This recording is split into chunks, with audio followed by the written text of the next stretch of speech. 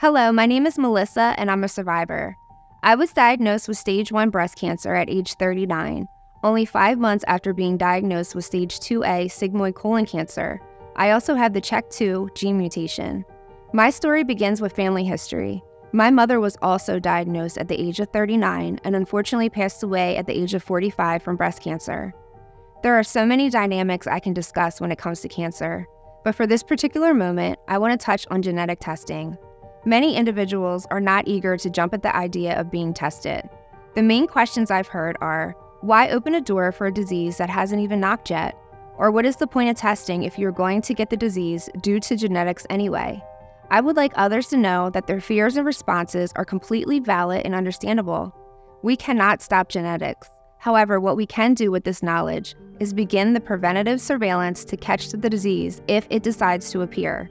Early detection saves lives. This experience creates a self advocate.